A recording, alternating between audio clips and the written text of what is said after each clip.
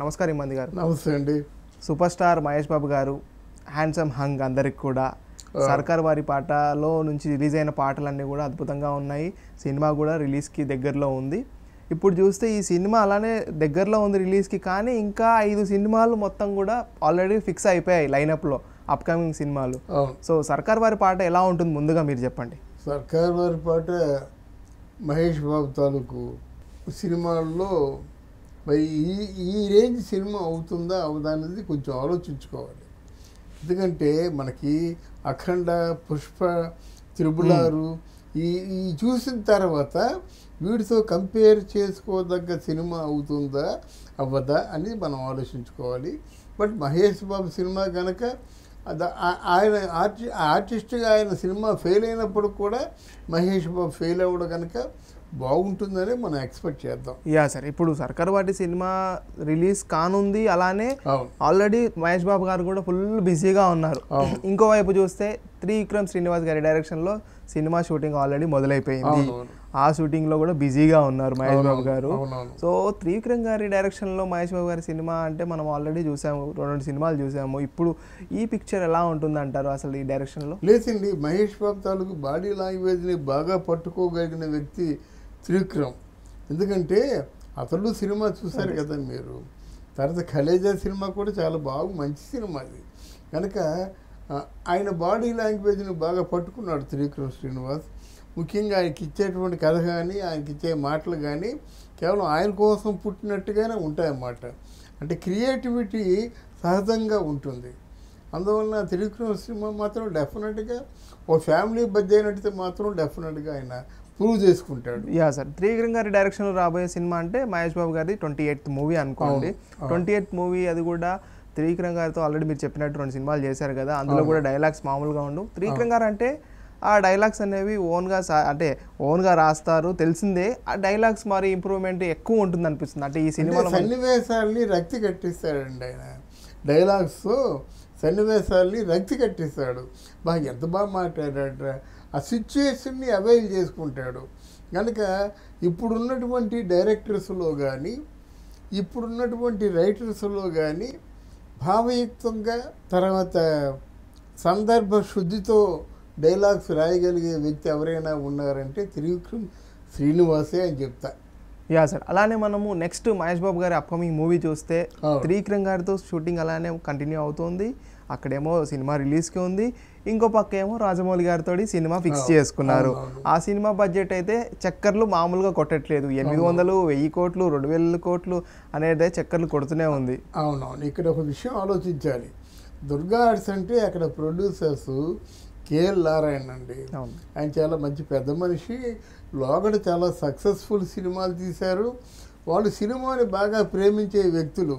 అలాంటి వాళ్ళు pan India సినిమాలు తీసినప్పుడైతే ఆ సినిమాకి తప్పకుండా జవసత్వాలు ఉంటాయి అన్నమాట సినిమాని ప్రేమిస్తూ సినిమా కోసమే సినిమా చేస్తారు. వాళ్ళకి ఏంటంటే డబ్బు కంటే ముఖ్యం పరువు ప్రతిష్ట వాళ్ళ తాలూకు బ్యానర్ తాలూకు ప్రెస్టేజ్. ఆ బ్యానర్ ప్రెస్టేజ్ ఉన్న వ్యక్తులు కనుక కేఎల్ నారాయణ ఆ సినిమాని బాగా ఎక్స్పెక్ట్ చేయొచ్చు.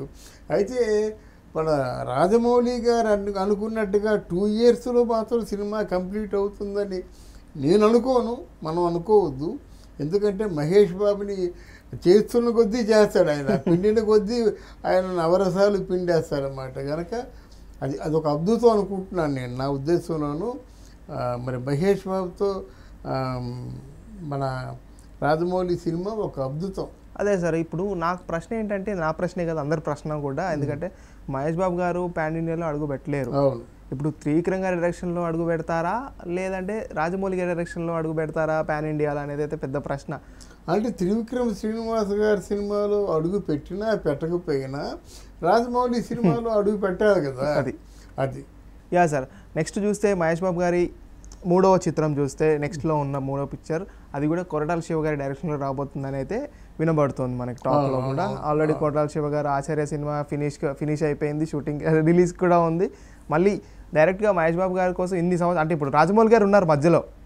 త్రివిక్రమ్ గారు షూటింగ్ నడుస్తుంది రాజమౌళి గారు మధ్యలో ఉన్నారు. రాజమౌళి గారి తర్వాత కొరటాల శివ గారు అంటే కొరటాల శివ గారు ఈ మధ్యలో ఏం చేస్తారంటే ఎన్టీఆర్ గారితో సినిమా ఉంది. ఎన్టీఆర్ గారితో ఫిక్స్ అయిపోయింది సినిమా. అంటే ఈ షూ- రాజమౌళి గారి షూటింగ్ ఎప్పుడైతే జరుగుతుందో ఆ షూటింగ్ సమయంలో ఎన్టీఆర్ గారితో షూటింగ్ కూడా కంప్లీట్ అయిపోతుంది. ఈ షూటింగ్ కంప్లీట్ కాగానే నెక్స్ట్ మహేష్ బాబు గారితో ప్లాన్. ఇక్కడ ఇక్కడ ఒక- ఒక విషయం చెప్పాలి. ఇప్పుడు రాజమౌళితో మహేష్ బాబు సినిమా చేసిన తర్వాత మహేష్ బాబు తర్వాత సినిమా మాత్రం మనం ఎక్స్పెక్ట్ చేయలేం. ఎందుకంటే మహేష్ బాబు ఏ రేంజ్లో కనిపించాలో ఆ రేంజ్లో కనిపించిన తర్వాత కొరటాల సినిమా కొరటాల శివ సినిమాని మాత్రం మనం ఎక్స్పెక్ట్ చేయలేం. జనరల్గా ఇంతవరకు చారిత్రాత్మక సత్యం ఇది. చరిత్రలో జరుగుతున్నది. ఇప్పుడు చేశారు అదుర్స్ చేశారు కదా సారీ. ఇప్పుడు చే త్రిబుల్ ఆర్ చేశారు కదా. నెక్స్ట్ మనం ఒకసారి ఇప్పుడు ఆచార్య మూవ్ అంటే చిరంజీవి గారు ఉన్నారు. అలా కాకుండా ఒకవేళ రామ్ చరణ్ ఒక్కడే ఉన్నట్టయితే ఆ సినిమా తాలూకు మనుగడ కొంచెం ప్రశ్నార్థకం అలాగే తారక్ తాలూకు సినిమా ఏదైనా ఉందంటే ఇప్పుడు ఈ- ఈ ఈ- ఈ సినిమా వచ్చిన తర్వాత తదుపరి చిత్రం తాలూకు మనుగడ ప్రశ్నార్థకం అలాగే రాజమౌళి మహేష్ బాబుతో ఎనిమిది వందల కోట్లతో సినిమాతో ఎనిమిది వందల కోట్లతో సినిమా చేసిన తర్వాత తదుపరి చిత్రం అంటే డైరెక్టర్ ఎవరైనప్పటికి కూడా అక్కడ కొరడాల శివాని కాదు ఎవరైనప్పటికి కూడా ఆ చిత్రం మనుగడ డిజాస్టర్ అవుద్దని చెప్పడం లేదు. మనుగడ ప్రశ్నార్థకం అని చెప్తున్నాను. యా సార్ ఇప్పుడు మీరు చెప్తుంటే నాకు ఒక క్వశ్చన్ ఏమొచ్చిందంటే ట్రిపుల్ ఆర్తో రాజమౌళి గారు అయితే బ్లాక్ బస్టర్ హిట్ కొట్టారు. తర్వాత ఆచార్య సినిమా అందులో కొట్టాల శివ గారి డైరెక్షన్.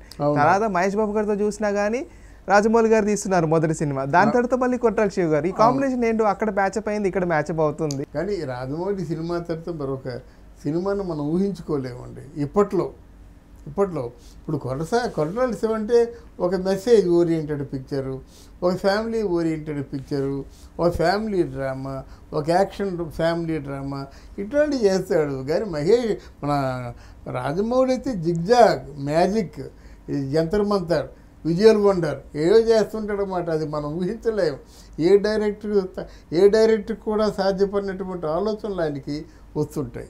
యా నెక్స్ట్ మనం చూస్తే KGF తో ఒక వరల్డ్ వైడ్ ఒక క్రియేట్ చేసి పడే అంటే క్రియేట్ చేసేసారు. అసలు మేమేం తక్కువ ఉండము కన్నడ సినిమాలన్నీ కూడా తక్కువ లేము తగ్గేదే లేదంటూ KGF తో స్టార్ట్ చేశారు. కేజీఎఫ్తో హిట్ కొట్టిన ప్రశాంత్ నీల్ గారు. నెక్స్ట్ మహేష్ బాబు గారితో సినిమా చేయబోతున్నారంట. అది కూడా రాజమౌళి గారి సినిమా తర్వాత కొట్టాల శివ గారి సినిమా. కొట్టాల శివ గారి సినిమా తర్వాత నెక్స్ట్ ప్రశాంత్ నీల్తో ఉందంటున్నారు సార్.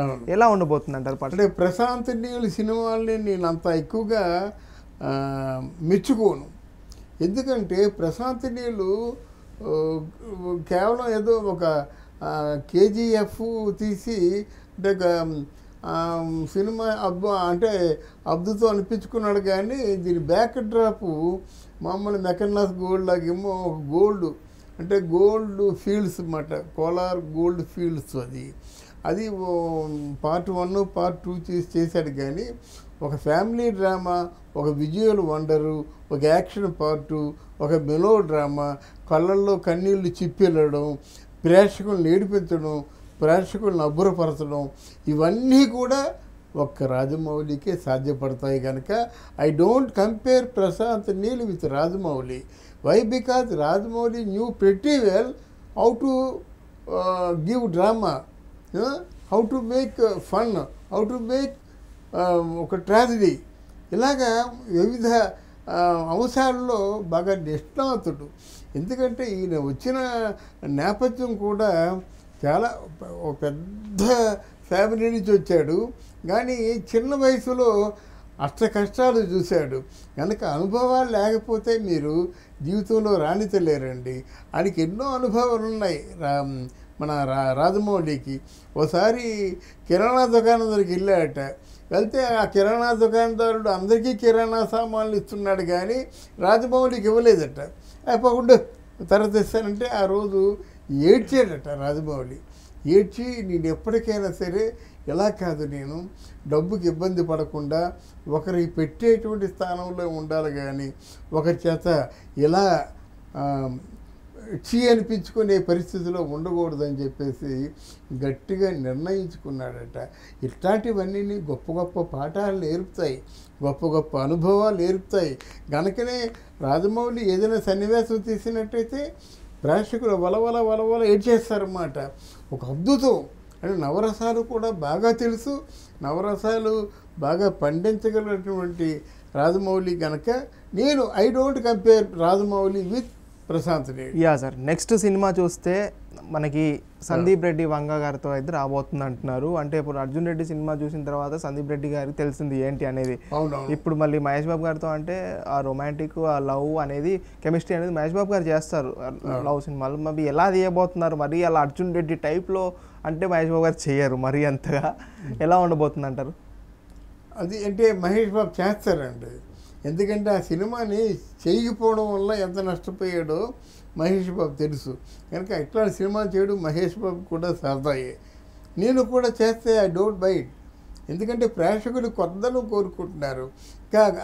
కొత్తదనాన్ని చేసే వయసు ఉంది మహేష్ బాబుకి అది. యా సార్ రాబోయే మహేష్ బాబు గారు అన్ని సినిమాలు కూడా బ్రహ్మాండంగా హిట్ కావాలని అయితే కోరుకుందాం సార్. తప్పకుండా తప్పకుండా. I wish all the very best.